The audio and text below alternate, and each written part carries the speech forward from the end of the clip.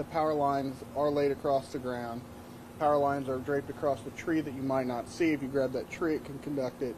Some of those power lines have had to been turned back on in order to restore that power to the hospital and in, in return to restore the power to other portions of town and the county and they haven't been grounded properly yet. So we're just, like I said, that's why we're waiting on Westar to kind of give me the go ahead to even be able to put put personnel in there to keep keep watching or looking for the damaged areas.